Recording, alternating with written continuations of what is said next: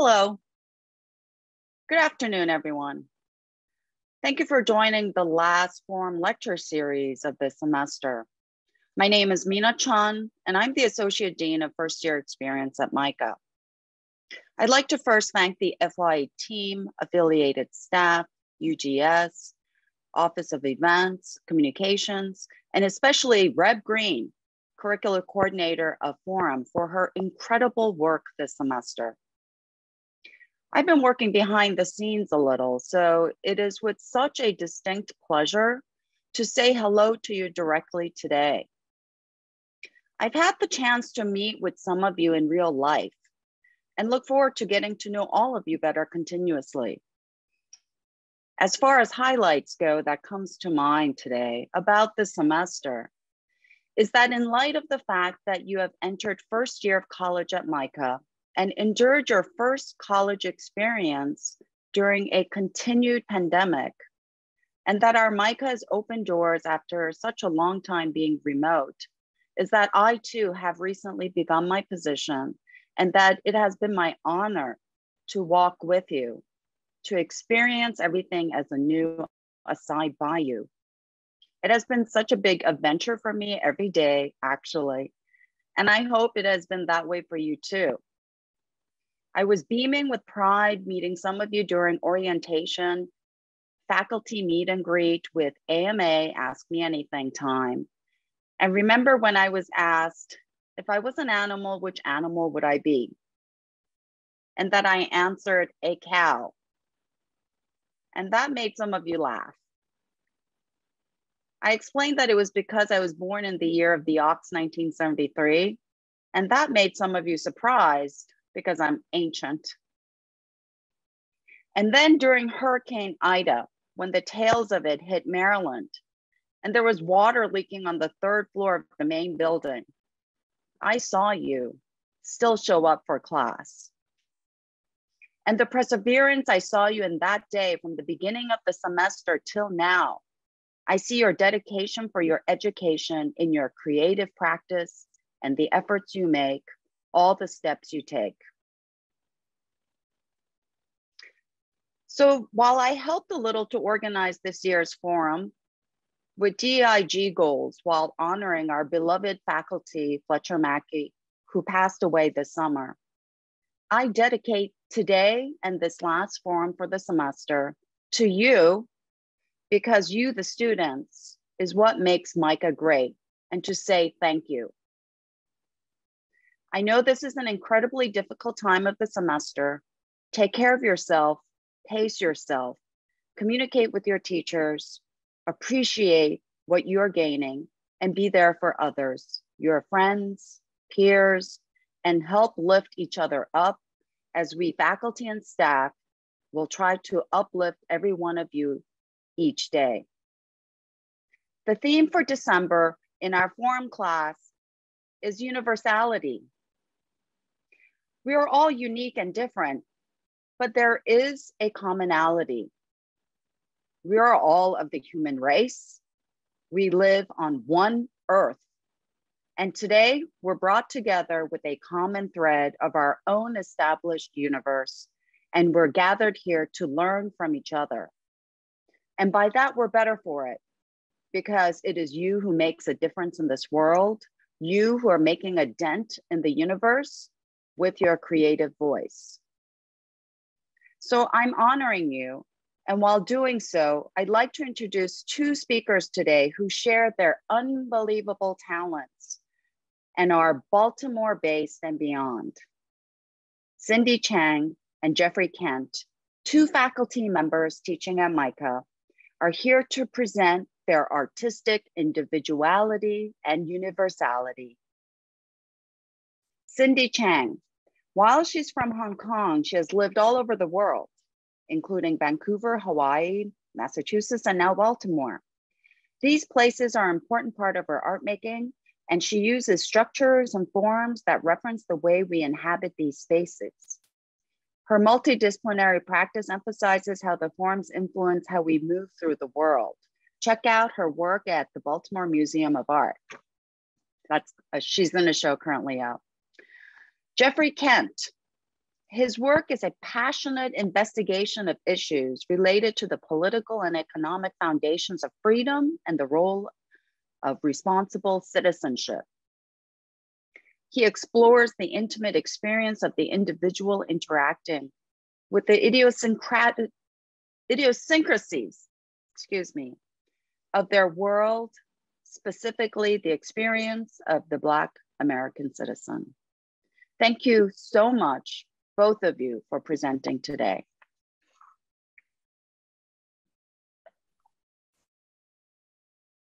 Uh, thank you, Mina, for that lovely intro. Um, okay, so I'm just gonna share my screen.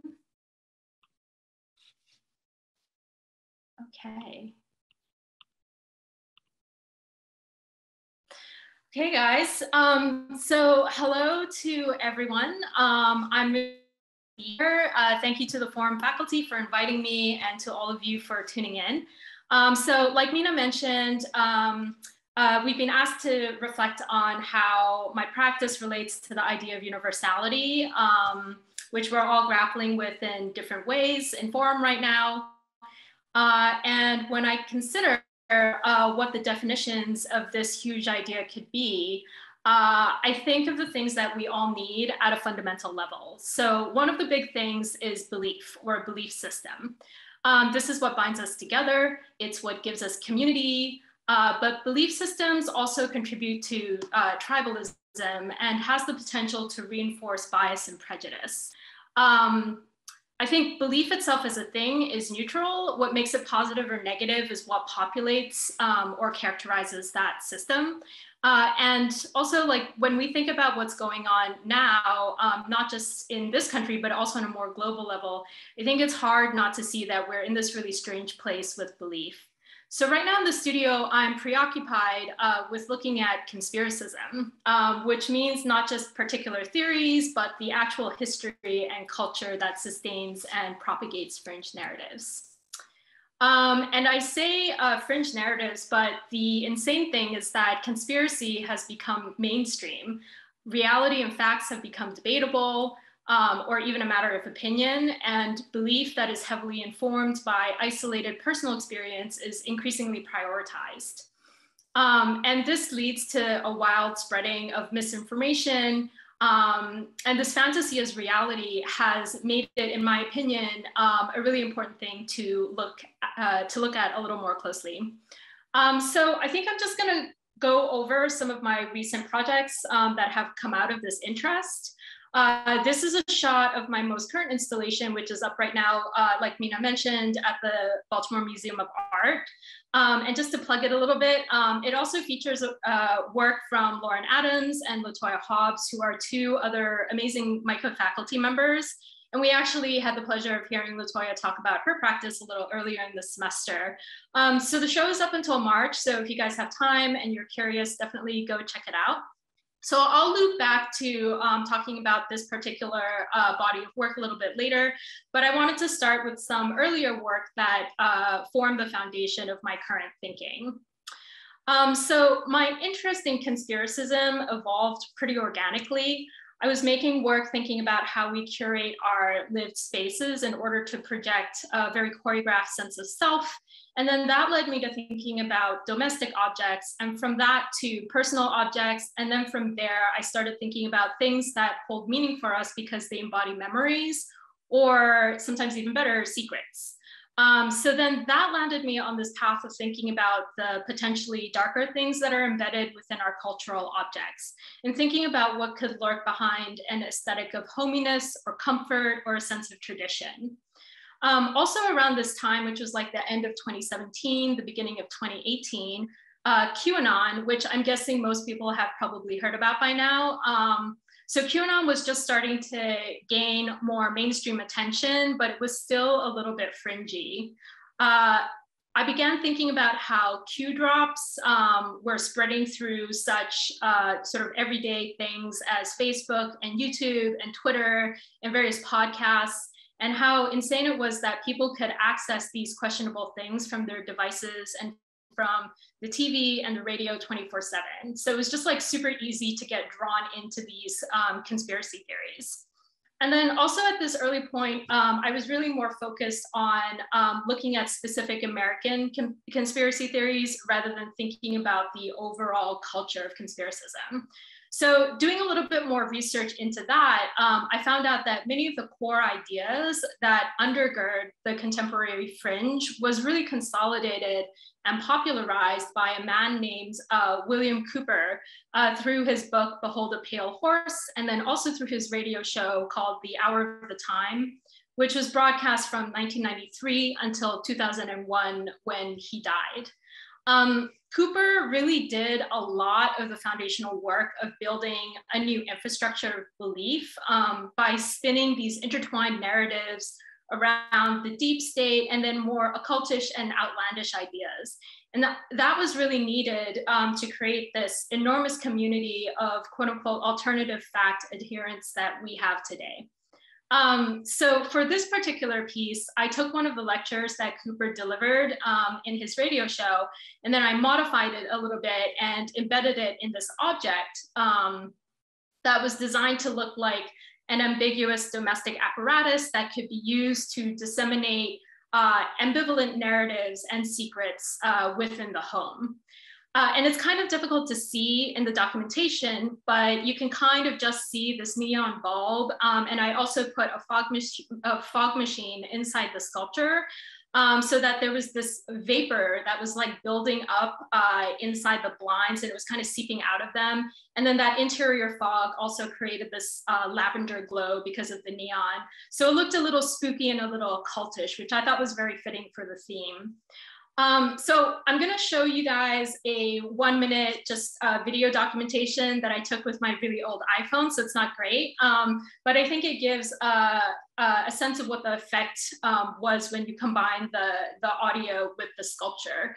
The original lecture that I used that I pulled from Cooper is like an hour and a half long, it's really long, um, so this is just a one minute clip. Everybody look back in that corner at the far side of the room where it's real dark behind that chair. I'm going to turn on a very, very bright light. And I want you all to watch the cockroaches scatter. For tonight, I'm going to read verbatim to you from a book that we found in a dusty shelf far back in the rear of a used bookstore so many of these ideas around conspiracies and the often occultish narratives and mechanisms that are their vehicles um, became the focus of my next group of work, which I titled The Pretenders. Usually I'm pretty laissez-faire about how I deal with titles, but I wanted to be really specific with this body of work because I was thinking about how the spread and growing support for conspiracies was creating this new shady group of leaders. Um, some of whom may have completely bought into um, the belief systems that they were espousing, but many of whom were not true believers and were really and are really only using the magnetism of these narratives to exert control, to manipulate values and priorities, and to essentially entrench their own power and their own ideologies. And in my mind, these leaders, like the beliefs that they peddle, um, are false idols, and they're kind of like pretenders to a throne. So um, inside of this uh, ceramic uh, hollow sort of icon head, I put a fogger um, so that vapor could kind of come out through the nostrils. Um, I've become really interested in having these sort of dynamic elements and chaotic elements in my work. So this and the next piece that I'm going to show were my first uh, sort of goes at that.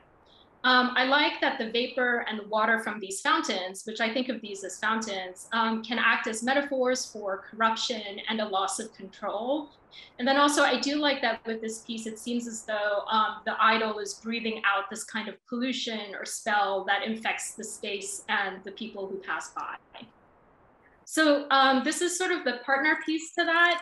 Um, fountains are still something that um, really intrigue me and that I'll continue to work because I feel that there are these weirdly manipulative things um, that are really good at creating a sense of idyllic ease and are, are also spectacles that are fantastic at conveying different narratives around myth, culture, wealth, power, and ideals.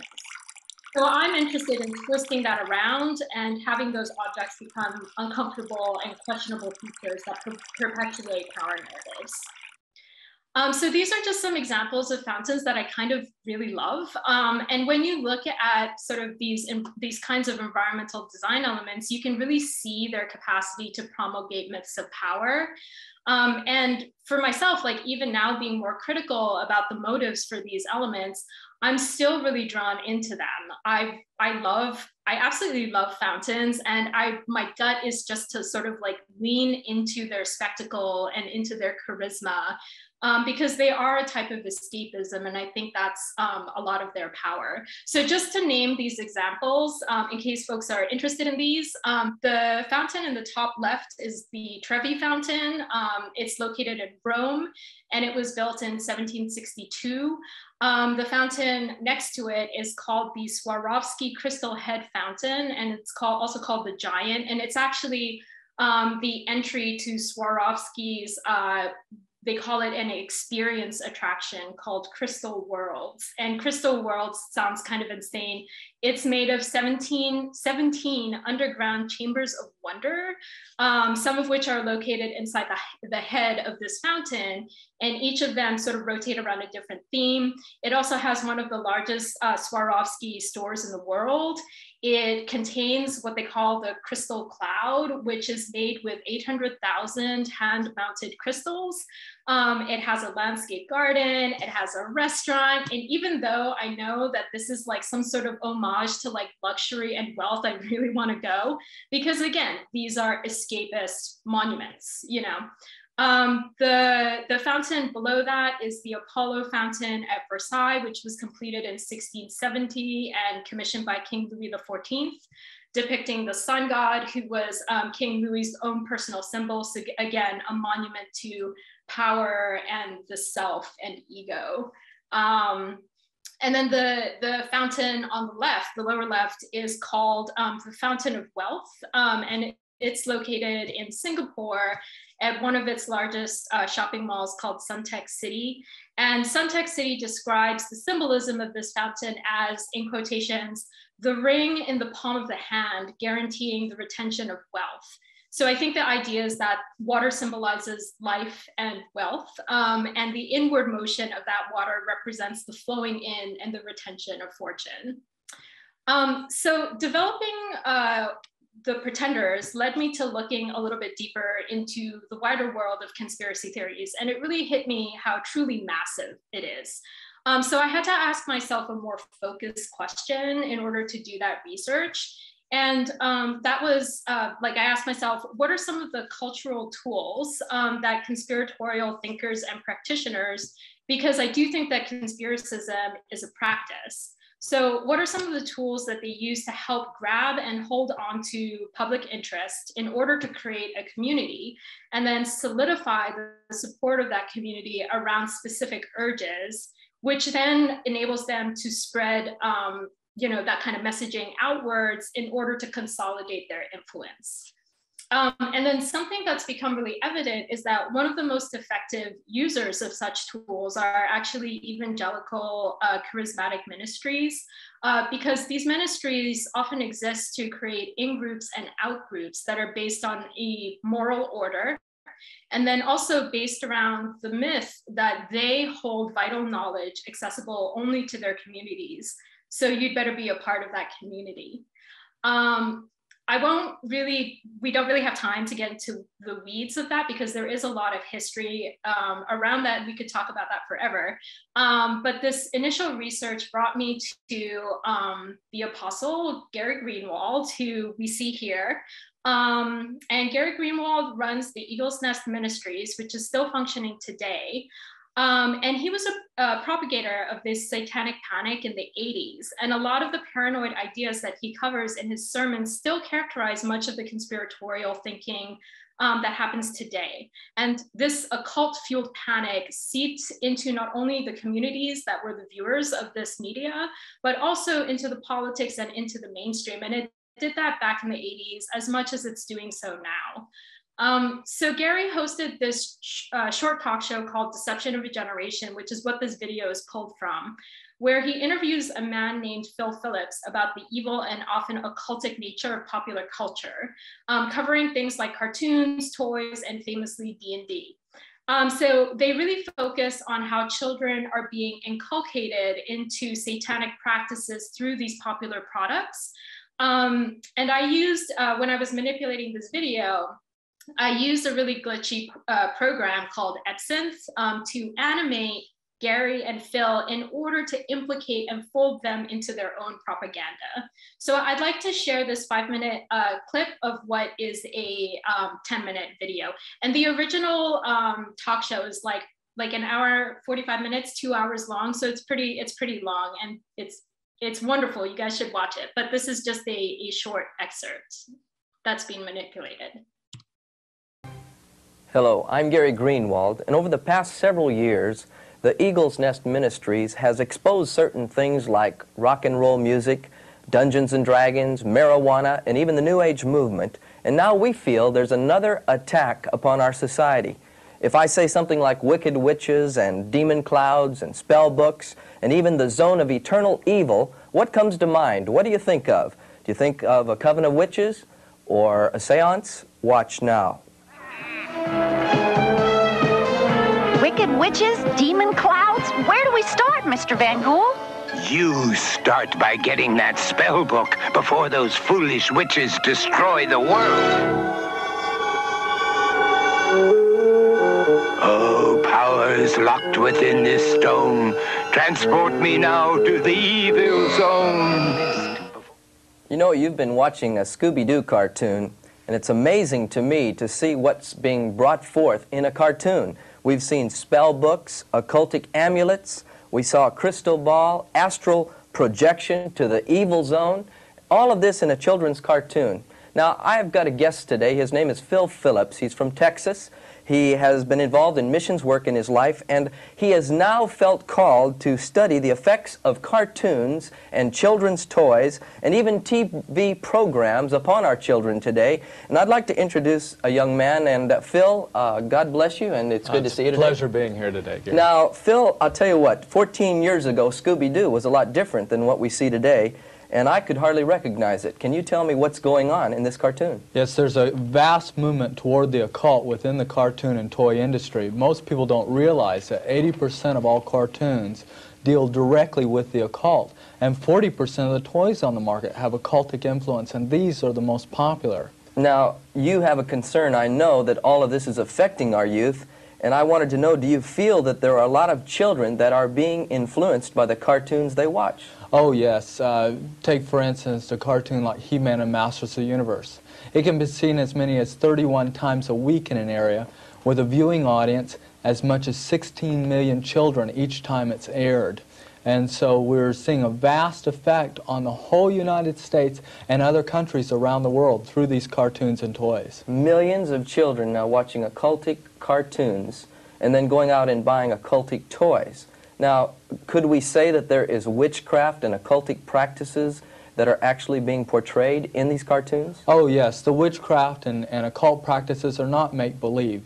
They're taken from actual witchcraft, actual pagan religions, levitation, mind control, astral projection, and other forms of, of witchcraft ceremonies are portrayed within the cartoons. The children receive this in a, in a very different light than we do. Well, Lynn, before we talk about that, let's go into another Scooby-Doo cartoon and let's see some of the occultic and witchcraft influences that are very blatant in this cartoon. Let's go to Scooby-Doo again here. Okay. I can hardly believe what I'm seeing here. Now, we're looking at occultic things. We're th seeing things like the chest of demons and witches and Stonehenge, uh, henge and occultic spell 13. I mean, we're talking about satanic things here. Now, Phil, you're saying a child actually projects himself into the toy. The, the toy is a lifeless hunk of plastic, and it only comes to life with that projection of the imagination into a toy. Yeah. And they give it life, character, abilities, talents, and set the surroundings around the toy. Well, we've seen over the last several years a, a slow, subtle uh, occultic influence in our cartoons, but it's become so blatant when do you feel this blatant turn towards the occult and witchcraft really took on its momentum? Well, there's a cartoon called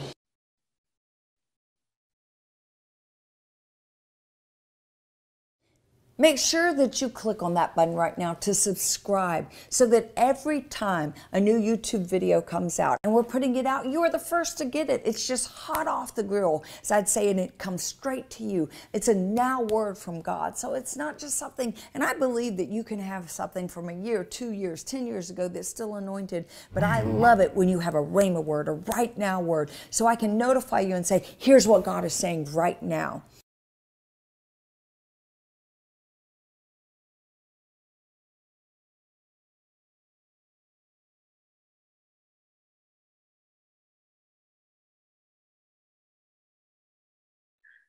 Oops, sorry, wrong way.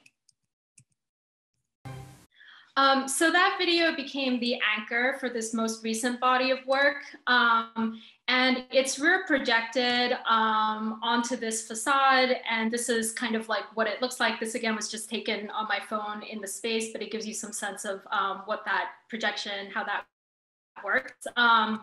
And when you look through this sort of like gap in the middle of the projection wall, um, you look through this crystal uh, screen, this crystal curtain, and can sort of see this interior den. So this kind of like li living space through that aperture.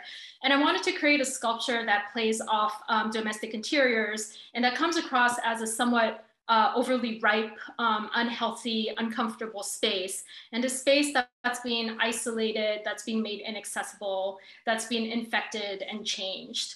Um, I was really interested in playing around with two particular ideas. Um, one was how any manifestation of truth, um, as long as it is grounded in belief, and it doesn't matter how that belief was constructed, um, can restructure one's perception of reality.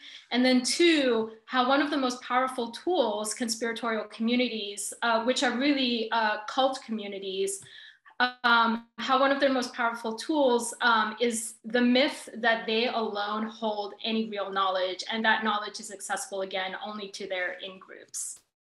Um, I also recently came across um, this 70s psychedelic mystic, uh, Terence McKenna, uh, who had some influence um, on QAnon culture.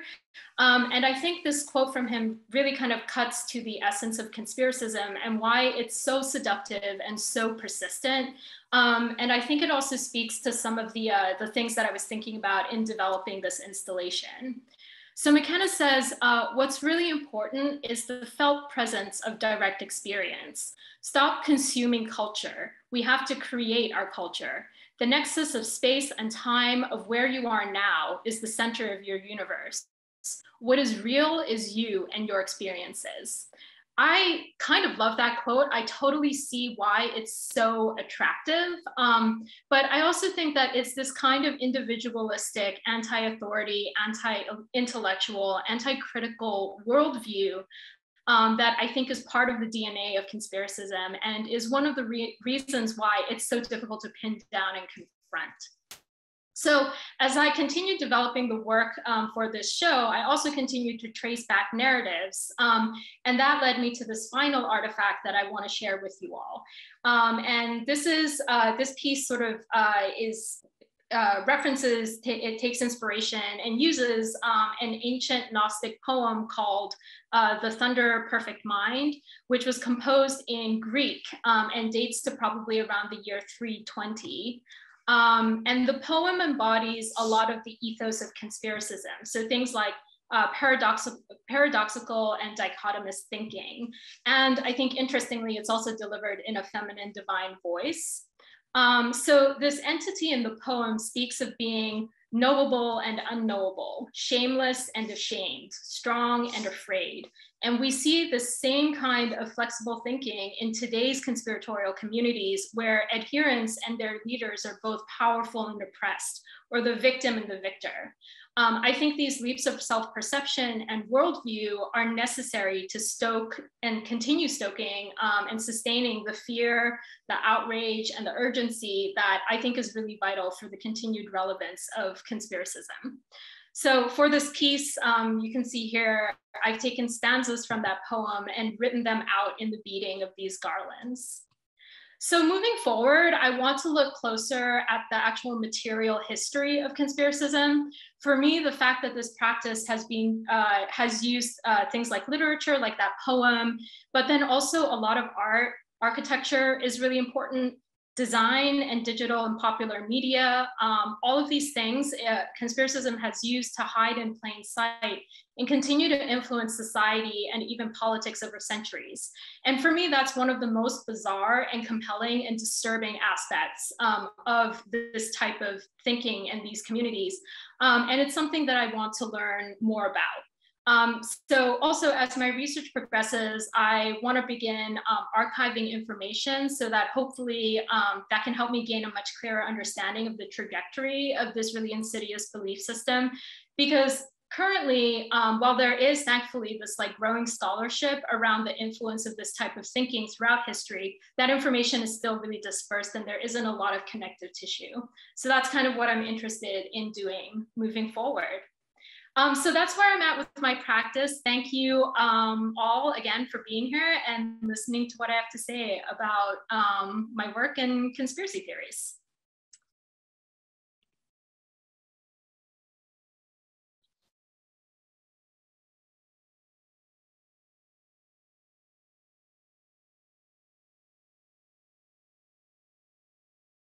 Awesome. Hello, everyone. My name is Jeffrey Kent. I guess I'm supposed to start. And uh, I'm a Baltimore-based artist, as I mentioned earlier. And I like to talk about my work, my process, and uh, and I like to show you a couple of things that I've been working on as well momentarily. I'm sitting here with my assistant Cleo, who I kind of need to do everything for me except make my art. Uh, one of the things that I will show you is the paintings and behind me are paintings that I'll talk about some of the things that I have been working on, and then I'll finish with the things that I've just completed, which are newer works, and then where I'm going later uh, with my art practice. I'm gonna have to start this here. How do you, oh, I did that wrong already. I did that wrong already, y'all. The share of the screen magic. Okay, where did the other?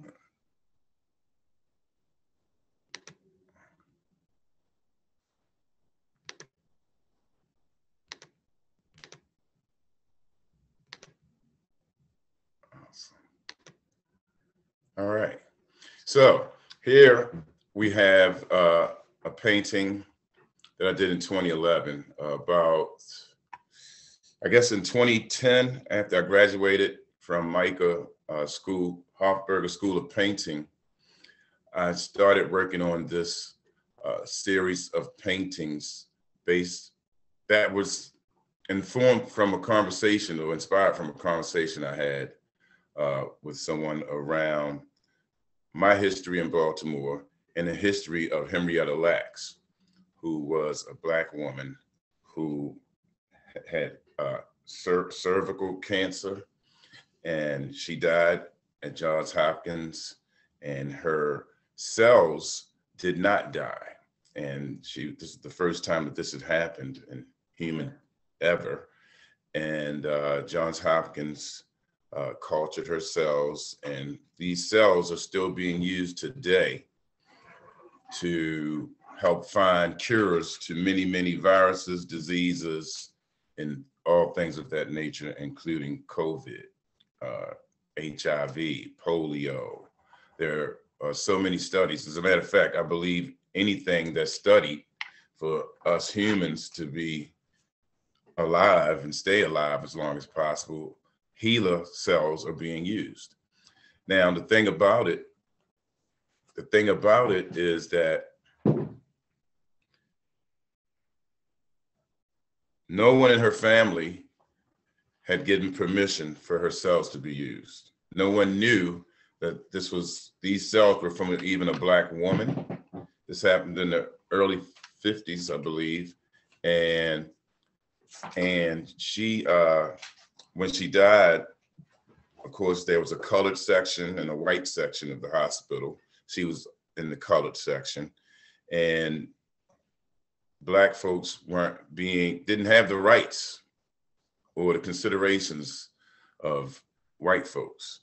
And in this particular case, no one in her family ever knew that she, her cells were being used. That's the first thing. It was done without permission. And in the very beginning, because no one knew who these cells were from, they used the name of a woman named uh, Helen Lane, I believe it was. And uh, for many years, it was thought that these cells came from Helen Lane until uh, quite recently, uh, a book by uh, Rebecca Skloot, uh, The Immortal Cells of Henrietta Lacks, is how these paintings were developed, or this whole story for me was developed. So I started uh, these paintings. These are acrylic-based paintings with impasto. This is, and they're used with GAC, a GAC 800, a Golden's product. And the way I use this product, I was informed by Sam Gilliam. Uh, he was the artist in residence at MICA for my first year in 2008 at MICA. And so in my research, I started Googling uh, Henrietta Lacks and the things I would find were, I was trying to figure out what I would do with Henrietta Lacks. Uh, the things I wanted to find in, in working in my, for, with my process is, is based on research first before I can go into the studio. And that's kind of where I am right now. I'm not really making anything physical myself. And so the first thing I did was to go and research what is Henrietta Lacks, who is Henrietta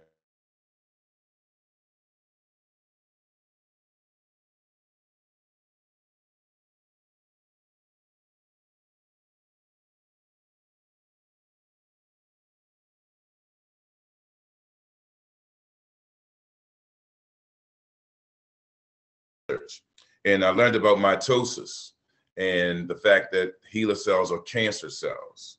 And that's one of the reasons why they're able to be used basically until eternity. For some reason, this particular cancer cell is very powerful.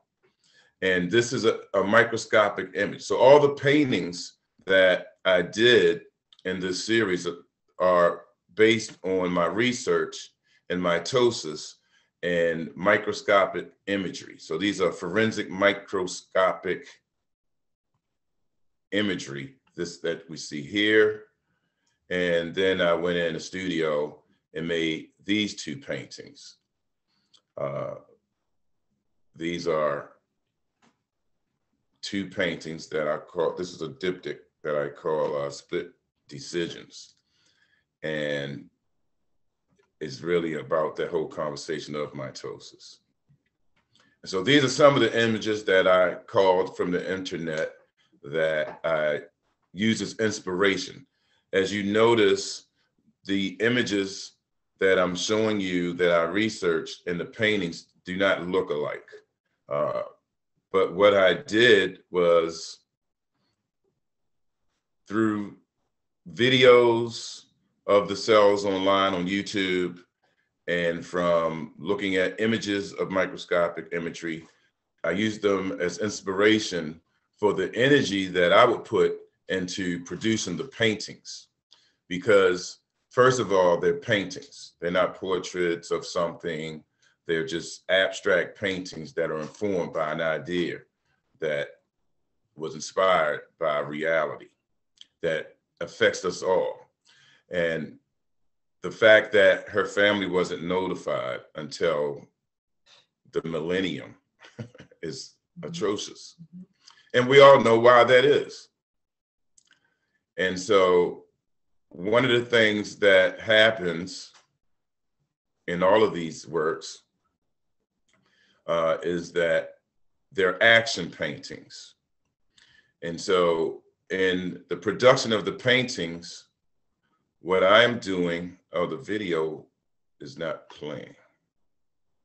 Yeah. I guess in this slide presentation, it won't. So I'm going to do it differently. Come back to that. Let me see here. So one thing I do, I try to do,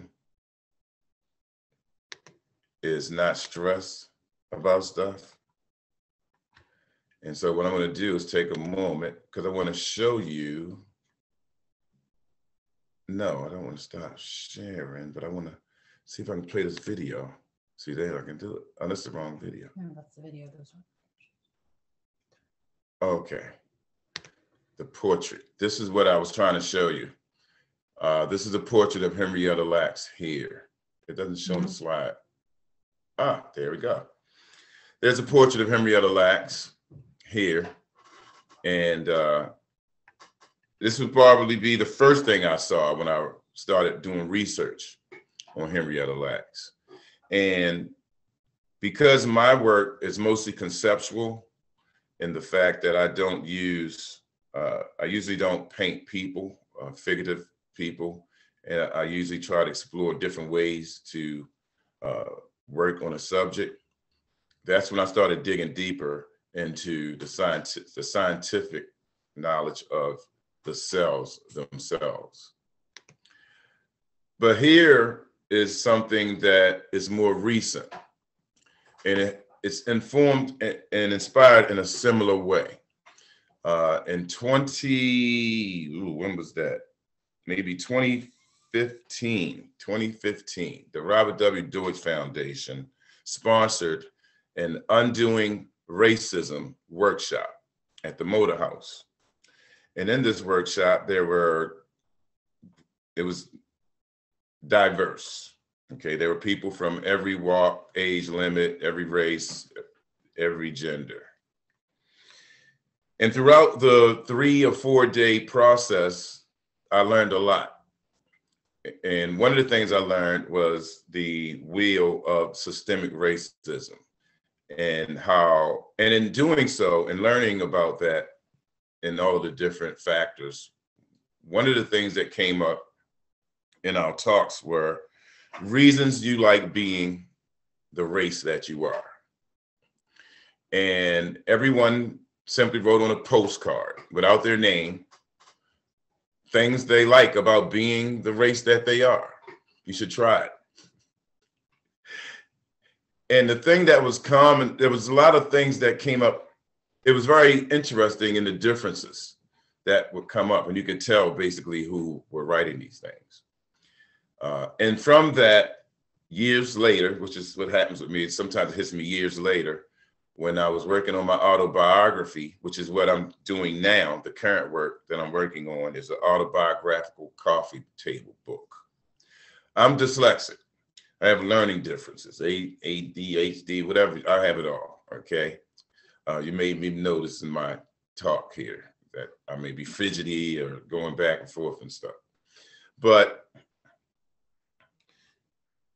the way this works is that in my autobiography, I'm in a chapter called Innocence Lost. It's a time before I became, quote unquote, a Baltimore thug, which is the word that was used some time ago during the uprising that we had here in Baltimore in 2015. I guess I was maybe nine or between nine and 11 years old. The kids in our neighborhood, most of which were our dads didn't live with us. Uh, we were our parents and the, our best friends and everything. And one of the things we did, we would get these race sets when we were young. And I guess you can't see this now in the little small screen. I can show it again. But this here is an AFX racetrack from the 1970s, which is when I was around nine, nine, 10, 11 years old or so. And we would get together get put all our tracks together and we would make one of these large sets like this. And we would race for a few hours. Then we would go outside and play Skelly, which was a street game. And I wanted to inform my autobiography about that part of my life, of how we did fun things that we found exciting. But I also wanted to include art history in this work. Also wanted to include my history and the history of pretty much us all. And in doing so, what I came up with was this red line that separates these two races. Because redlining came up in the Undoing Racism uh, workshop, which I had no idea that was a thing. Look, Google redlining, and you'll learn more about redlining. Uh, because basically, it, there was no written line, but there was on maps that were handled by the uh, insurance companies and the banks and the financial companies. And basically, what it did, if you were black, you were on one side of the red line, which means you probably couldn't get a mortgage no matter how good your credit was. And you couldn't buy a home in certain neighborhoods because of your race. And these neighborhoods, these they just separately move in separate directions because of so. Uh, if you notice in the image on, I don't know if it's your left or right, but the larger size image under the track where the police car is, there's a 0% finance sign. Uh, this is all hand painted, by the way. I hand painted all of these tracks. There's 72 of them. And I, I, I chose to create, show the opposites of both sides of the red line. So you have no down payments, uh, 0% financing on one side, and the other side, you have 72 months financing with 5K down. Okay. And you could have the exact same credit, but because you're on the other side of red line, that's what you deal with. And the name of this work is called The Rigged Race. So this is a work that actually functions as a moving, functioning artwork, sculpture, and which the car, I guess you can see this because we're sharing screens. I could have did that the first time. Move the cursor, duh.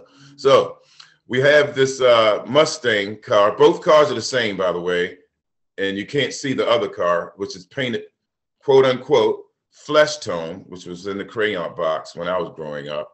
Uh, the pink colored white tone, white skin tone is called flesh tone when I was growing up. And then you have this car, which is, whoops, see Daisy, how did that happen?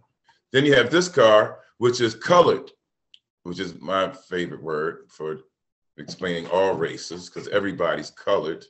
No one's black and no one's really white. So the colored car is detained by a police car during the whole race.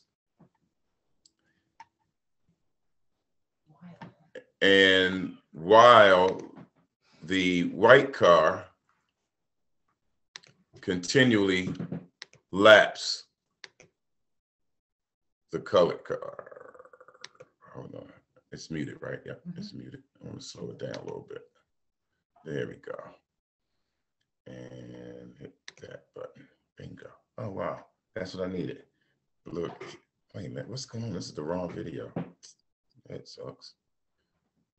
That really does. Interesting. Okay. I did too many videos of this. So this is an installation shot of Rigged Race. Uh, but this also is an installation shot of my latest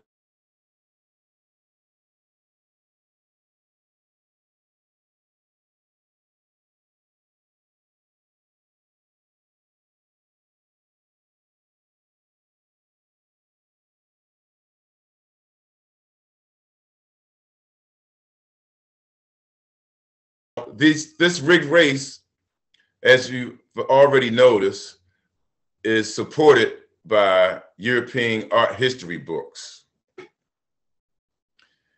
And uh, these books don't have people that look like me.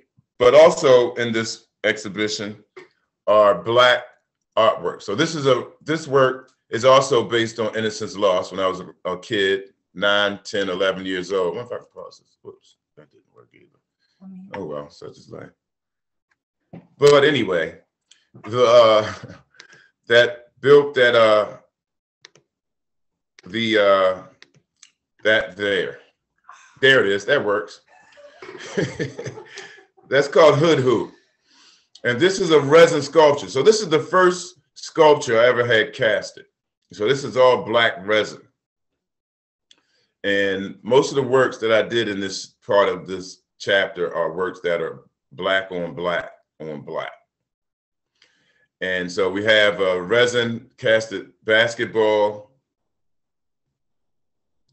Can't enlarge it, huh? Whoops. No. And that's a resin casted milk crate. And that's a cast resin piece of wood. That's not wood, that's not a milk crate, and that's not a basketball. They're all casted in mold and made it with resin. I could do the same thing in bronze, which I plan to do another edition in bronze. So this is an AP with an addition of three. And uh, that milk crate, I just like to talk about the specificity in the way that I construct a work of art. I could have just went across the street. There's a grocery store across from my house and got a milk crate from them, and just did use that milk crate, right? But the way I work and what I learned, because I was self-taught until I went to MICA for the, my master's. I, I, I never earned a, a BFA. I was fortunate enough to be accepted into the Hoffberger School of Painting uh, without a BFA. So I ended up picking up a lot in those two years. And one of the words I, I learned was specificity. And it's probably the, the word that's most you it's really the action, I guess, that's most used in the production and process of me, of my making of artwork. And so this milk crate, I researched online and found a milk crate from 1974, and it's a Cloverdale milk crate, which is also very specific to Baltimore. Uh, Cloverdale, Cloverland. It's not Cloverdale. Cloverland. This is the milk company mm-hmm. that has, I think, it's in, per, in perpetuity. I said it right. they have in perpetuity with the city of Baltimore to serve milk, cow's milk, by the way, mostly, I mm-hmm. guess, only, to Baltimore City and Baltimore County children. And they still do it today. And this is what I had, you know, it's the milk cartons that we had in school in elementary, my free lunches, we would get this clo- Cloverland milk. And so I just decided if I was going to get a milk crate, it needed to be specific to my story. And so I went online. I guess I got it from uh, eBay. I probably paid like $75 for something I could have got free. But this is the work. I'm an artist and I want my work to be very specific and detailed in, in any way, shape, form. Uh, and so the other works that are in this book, far away, uh, is this neon. This is another piece that I had fabricated. Uh, this work is informed by a video that I saw at the New Museum, I believe it was, uh, about five months ago. It was a Titus, Titus, uh, Arthur Jafa. it was a film by Arthur Jafa, and there was a clip with uh, Serena Williams for about three seconds or four seconds doing a crip walk. And I came to tears because growing up in Baltimore, which from my neighborhood, we call Little South Africa growing up in Baltimore. There's a thing called code switching. And most black folks do it, or most people of color, I should say, not just black folks. Most people do it, but mostly people of color do it to fit in to the corporate sector or the work sector to get jobs and to fit in with these jobs. As opposed to being your full, authentic cultural self. And when I saw her do that crip walk, after it looks like she won the Wimbledon or one of her multi championships that she's won, it brought a tear to my eye to see a black person being authentically black. And I've started this work here. And since I'm dyslexic, uh, one of the signifiers in my work is that I write backwards. My, my text is written backwards. So I use reverse text in my work. And so I got this neon made in which it's uh, also inspired by Glenn Ligon's America and his work. And so some of the, the things that I did different was first of all, reverse the text and I added the background, which is all black. And I painted, well, I didn't paint it, but I had the uh, neon painted black and they have a pinstripe in the back that illuminates light onto the black surface. And I believe that may be it. Wow, that's like perfect timing. That don't make no sense. How do I, let's see, stop sharing. Bam. And I want to thank Micah, uh, Mina, Reb, everyone for this opportunity. And I think you should enjoy life. Don't stress. That's what I'm telling you. That's my last word. I'm out. Thank you so much, everyone, for your attention and participation. It was really, really wonderful to hear from these two incredible artists, and what a great uh, finish to the Fall 21 lecture series. Thanks so much. We'll see you next semester. Take care.